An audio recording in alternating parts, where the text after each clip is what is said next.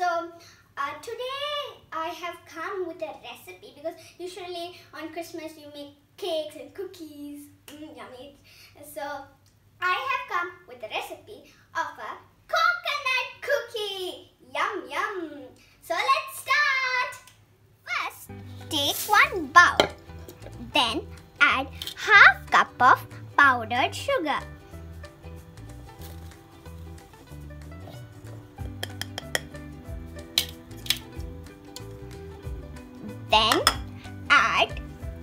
Cup of melted ghee. It should be in room temperature. Also we can use butter.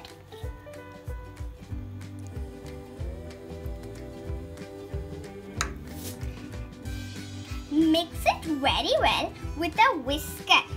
It should be in a creamy texture. Like this. Into this, add 1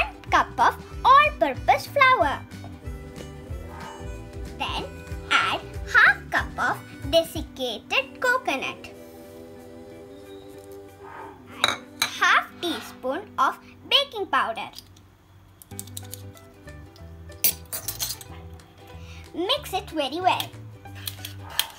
Mix it very well but do not knead too much. Just use your fingertips to mix.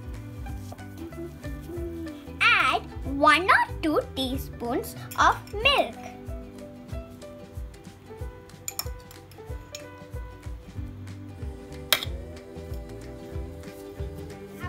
Dough is ready.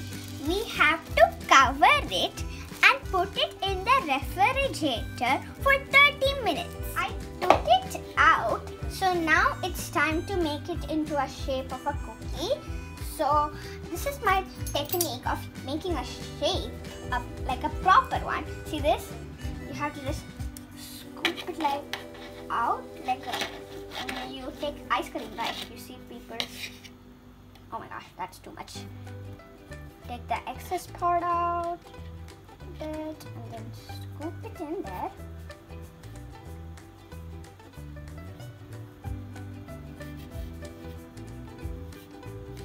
And voila, it's done. Now we just put it out, like take it out.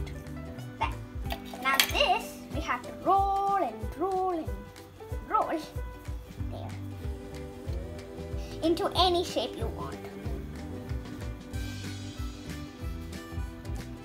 Cute ball. Now we need to like press it a bit. Ding.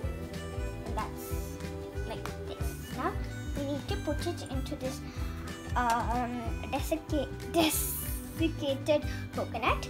So let's do it. Dum dum dum. And dum dum dum.